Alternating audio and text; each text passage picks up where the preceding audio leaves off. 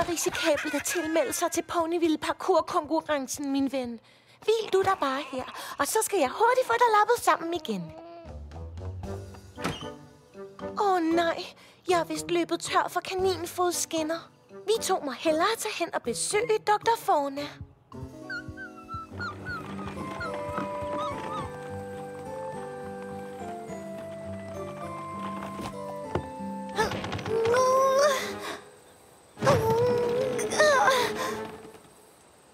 Jeg var så sikker på, at klinikken ville være åben. Hallo? Er der nogen hjemme? Fluttershy? Åh, oh, hvor er jeg glad for at se dig. Jeg ville ønske, at jeg kunne sige det samme, men døren vil ikke åbne, så jeg øhm, kan ikke se dig. Åh, oh, der er en lille kanin, der har slået foden. Lad mig forbinde det, så han kan komme hjem igen. Egentlig vil jeg gerne beholde ham til i morgen, men som du kan se, så buner klinikken med dyr. Jeg tror simpelthen ikke, jeg har plads til et eneste væsen mere.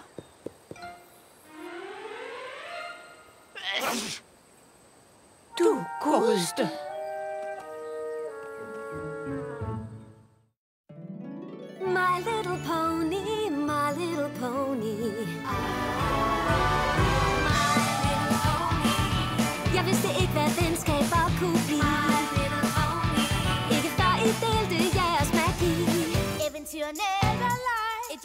Smukt, som viser vej Alle er søde Det er flot, og med magi, der går det godt. I er hver og en en rigtig god ven. My Little Pony. Venskab er ren magi. Fluttershy tager fat.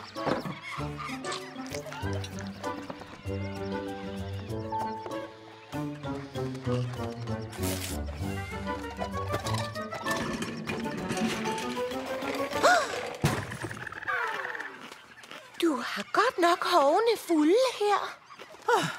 Man skulle tro, at det var zoologisk have. På den anden side, så plejer det at være sådan, men oh, jeg kan ikke følge med.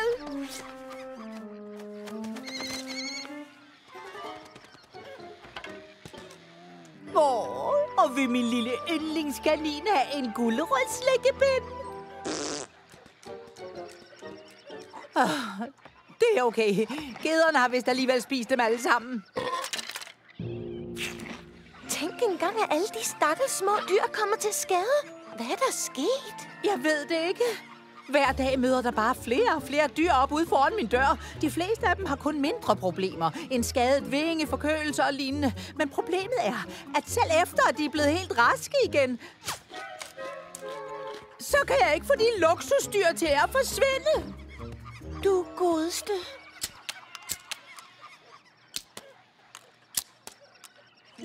Det ser godt nok ud til, at de lader som om, at de er hjemme. Gad vide, hvorfor de alle sammen valgte at komme hen til min klinik. Åh, oh, det giver jo slet ingen mening. Vær nu ikke fjollet, Dr. Fauna. Du er den bedste dyrlæge i hele Equestria. Det har jeg sagt til alle dem, jeg har mødt. Uh, hvad har du? Åh oh, nej! Tror du, at det er min skyld? Det er jeg ked af. Det var ikke min mening. Jeg ved bare, at dyrene føler sig så trygge og glade her hos dig. Oh, normalt er det fint med mig, hvis en slange glider forbi, eller en rev har brug for lidt ro. Men jeg er så fyldt nu, at der overhovedet ikke er plads til at behandle de syge dyr. Det er virkelig et stort problem, som jeg har tænkt mig at ordne for dig. Jeg har allerede den perfekte løsning, der både vil gøre dyrene glade og give dig mere plads. Så kan du rigtigt få orden på sagerne.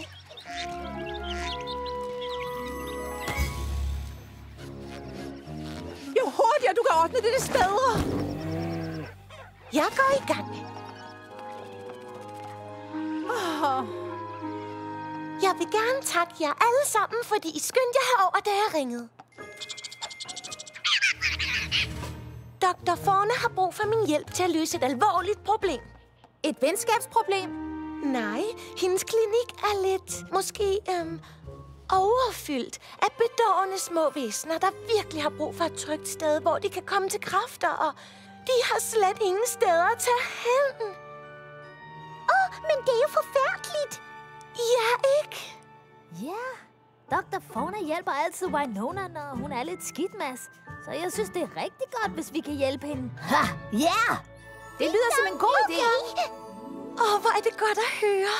For det betyder, at I også kommer til at hjælpe mig med noget helt særligt. Noget, jeg længe har gået rundt og drømt om at gøre.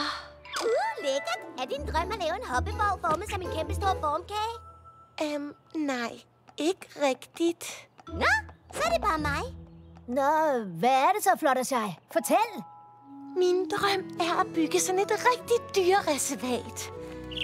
De smukkeste naturlige omgivelser, hvor alle dyr, om de er syge eller bange, eller måske bare ensomme, firklædte eller lodne, skældede eller slimede, alle væsener vil være velkomne. Mit dyrereservat kan være det ene sted i Equestria, hvor de føler sig hjemme. Indtil de er parate til at gå ud i verden igen. Wow, Fluttershy. Jeg har aldrig hørt dig tale med sådan en overbevisning. Det var fortræffeligt. Temmelig sejt der. Åh, oh, tak skal I have alle sammen. I har lært mig så meget om at opbygge min selvtillid i årenes løb. Det er på grund af jeres venskab, at jeg nu endelig tror på, at jeg kan føre mit drømmeprojekt ud i livet. Men jeg kan ikke bygge dyrereservatet alene. Vil I hjælpe mig? Ja, selvfølgelig. klart. Jeg vil med stor glæde give dig en hjælpende hov. Huh. Nu jeg tænker over det, så kender jeg faktisk en, der vil være til større hjælp end mig. Jeg kender en for Winonas forvogterkonkurrence. Wrangler. Hun er ekspert i dyreindhegninger. Det lyder dejligt. Åh, åh, åh, jeg kender også nogen. Hardhat er den bedste bygningsarbejder i Ponyville. Han kan bygge lige præcis, hvad det så end er, du måtte ønske dig. Nu hvor jeg hører jer tale om disse eksperter, minder det mig om, at jeg også kender den perfekte pony, der kan hjælpe med at gøre drøm til virkelighed. En, der kan tilføre stil, elegance. Er det dig, Rarity? Åh, oh, nej, nej. Jeg tænker nu på Cantelots Elites mest yndede og brugte indretningsarkitekt, Dan de Grandeur. Han hjalp mig, da jeg skulle åbne min butik i Cantelot. Jeg ved, han ville elske at arbejde sammen med dig. Wow, alle sammen. Mange tak. Jeg glæder mig meget til at møde dem og høre deres idéer. Vi er på vej til at bygge det mest vidunderlige dyrereservat i hele Equestria.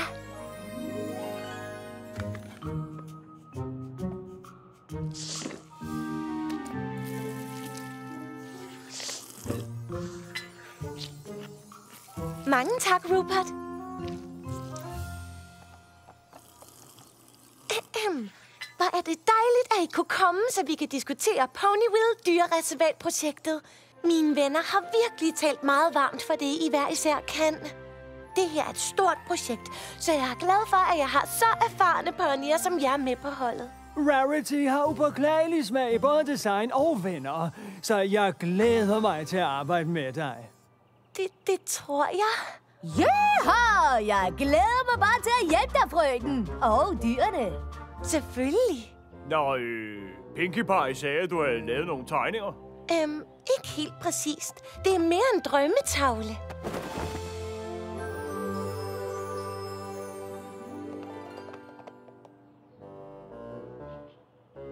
Mm, det ligner nok et dyrehospital. Men det er det heller ikke. Det er et dyrereservat. Et sted, hvor der er trygt, uden at være begrænsende. Hyggeligt, men naturligt. Et sted, hvor dyrene kan komme og gå, som det passer dem.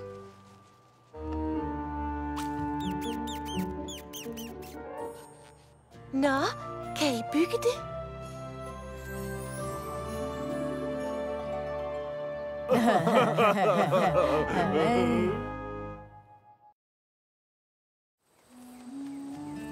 Dyrereservatet skal have en helt åben grundplan. Ingen mur. Nærmere en indhegning, der smelter sammen med træerne. Med en låge dernede. På den måde kan dyrene selv drage ud i skoven igen, når de føler sig klar. Snedigt. Det kan jeg godt lide.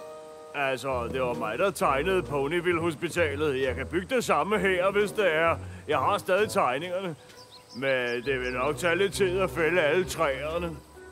Men jeg vil ikke have fældet alle træerne. Jeg vil gerne bruge dem. Er du sikker? Det, du taler om, lyder ikke som en sammenhængende konstruktion. Eller nogen konstruktion, som jeg kender. Dyrene lever ikke på samme måde som vi ponyer. Jeg ved godt, at det virker meget anderledes, men det er fordi, vi forsøger at lave noget, der aldrig er blevet lavet før. Og jeg tror, at det kan komme til at fungere.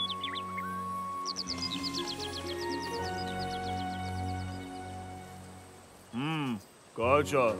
Jeg skal se, hvad jeg kan gøre. Se selv, Fluttershy. Alt, hvad du ønsker dig. Godt. Jeg ved godt, hun tror, hun ved, hvad hun vil have. Men når hun først ser, hvor meget bedre det bliver med de her planer, så vil hun takke os. Mm, yep, yep. Hvad vil du helst have til gardinerne? Uh, jeg elsker mønstret på de der. Øhm, du må meget undskylde, men der må være sket en misforståelse. Vi har slet ikke brug for gardiner i reservatet. Og hvorfor så ikke? Alt skal se helt naturligt ud på dyrenes levesteder. Det skal ikke laves i ponystil. Alle de nuancer er brun og grøn, men de er så kedelige, ikke også? Kedelige? Kalder du de smukke træers forskellige farver for kedelige? Lige præcis. Det naturlige look er ikke moderne for tiden. Det her er bedre. Stol på mig. Jeg takker for forslaget, men jeg ved bare, at dyrene vil blive gladest for jordbrune puder og løvgrønne nuancer. Jeg vil undersøge det. Mange tak. Når kunden ved, hvad hun vil have.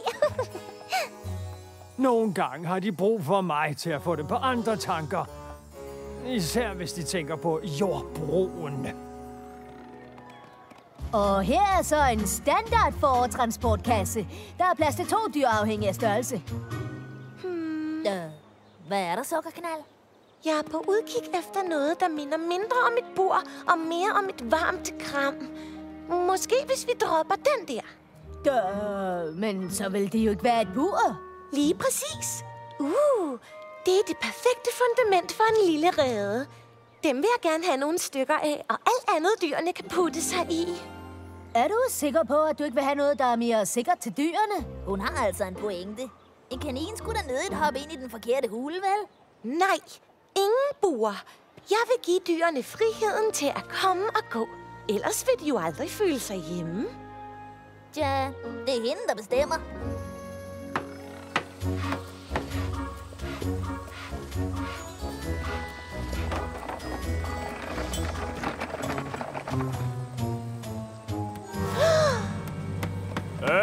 Hvad siger du så, Fluttershy? Jeg sagde jo, vi var hurtige. Bygningen står næsten færdig allerede. Der er knald på farverne, ikke også? Det er faktisk ganske rummeligt og meget sikkert. Hold os ikke på pinebænken længere. Elsker du det, eller elsker du det bare? Jeg... Jeg... Jeg elsker det ikke. Det her kommer slet ikke til at fungere. En giraf kan ikke komme igennem døren der. Når de der gardiner lukker lyset ude, hvordan skal fuglene så kunne synge i solskinnet? Og det her er det modsatte af et varmt kram. Jeg ved, at I har arbejdet hårdt, men ingen af jer har gjort noget af det, jeg bad jer om at gøre. Det passer ikke. Vi har brugt træerne præcis som du bad om. Og det der gardinstof er økologisk lavet af naturlige fibre. Og jeg har lagt bløde puder ind i mine buer. Det burde da tælle som et kram. Jeg ved ikke særlig meget om hverken byggearbejde, at indrette eller at drive for. Men jeg er faktisk ekspert på ét område. Hvordan man passer på dyrene. Og det dyrene har brug for er et fredeligt reservat, ikke det her. Måske var din vision ikke så fantastisk, når det kom til stykket. Var den vel? Min vision er ikke problemet her. Jeg fortalte jer alle sammen præcis, hvad jeg ville have. Og ikke en af jer lyttede til mig. Så jeg takker mange gange for ulejligheden. Men jeg har ikke længere brug for jeres hjælp.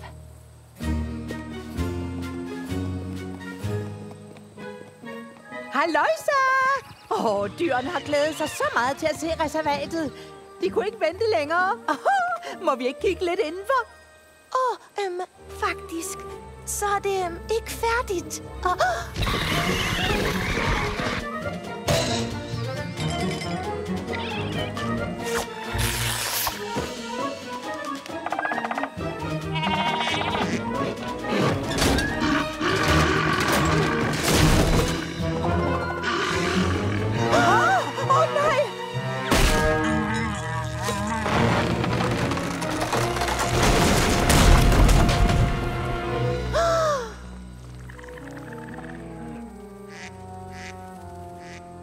må du virkelig undskylde, Fluttershy.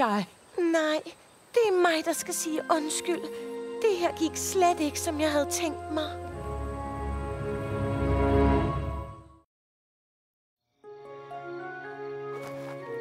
Så godt, lille ven. Det hele skal nok ordne sig. Det lover jeg. Så så. Alle må vente på, at det bliver deres tur. Åh, jeg er virkelig ked af det. Jeg troede, at jeg ville have det smukkeste dyrereservat klar til jer nu.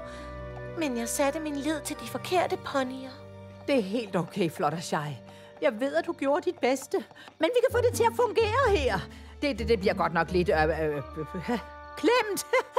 Men med din hjælp skal vi så mænd hurtigt få patienterne på poterne igen. Også uden dyrereservatet. Nej! Jeg giver ikke op. Dyrene har brug for mig, og jeg vil løse det her en gang for alle. Hvis den her lille frøken kan kravle hele vejen hertil fra det vestlige Equestria, så kan jeg også bygge hende et trygt sted, hvor hun kan hvile ud.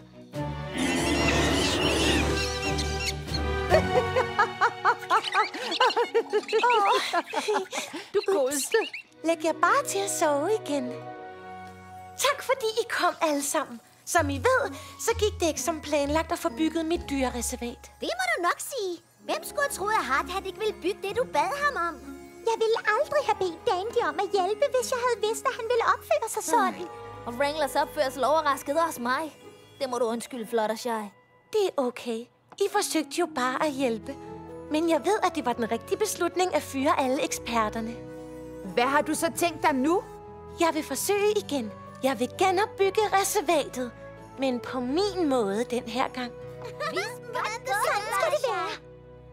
Hvad med at lave en super fed flyvebane til fuglene lige der? Og en gulerodskabebod her?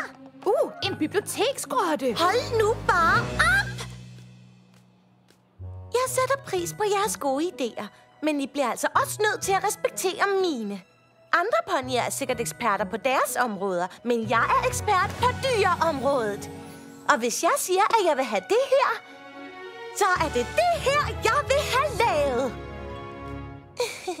Til dyrene selvfølgelig. Wow, du tager da i hvert fald sige din mening nu. For at få tingene på rette køl, har jeg bedt en gammel ven om at hjælpe mig. Han kan være her når som helst. Sagde du ikke lige, at du ikke ville have flere eksperter? Jeg ved, at den her ekspert først og fremmest vil tænke på dyrene. Og så er han virkelig god til at bygge ting. Jeg har hørt, at der er nogen her, der har brug for lidt byggehjælp til de små væsner. Big Daddy McCord! Vi mødte hinanden, da kortet sendte Fluttershy og mig til togebjergene. Og han kan i hvert fald sit kram, når det handler om at bygge huse og tage sig godt af dyrene. Åh, oh, pjat. Lad os ikke spille tiden med at tale om det. Lad os bygge det dyrereservat! Er du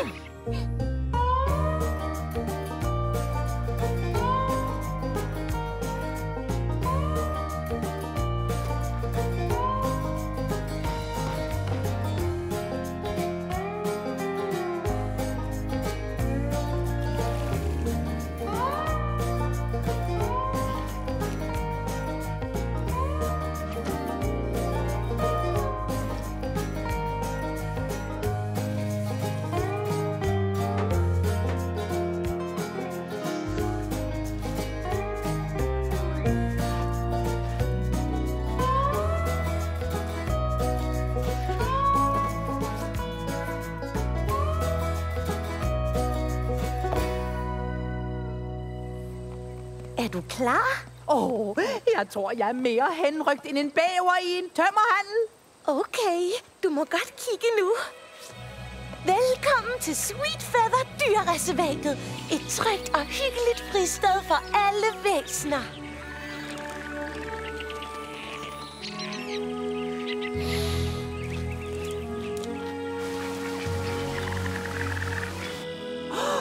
Åh, oh, Fluttershy. Det er jo fantastisk! Nu burde du have plads nok i klinikken, for når du har behandlet dyrene, kan de komme til kræfter her med min hjælp, selvfølgelig. Det er okay, Lola. Alle gør tingene på deres måde.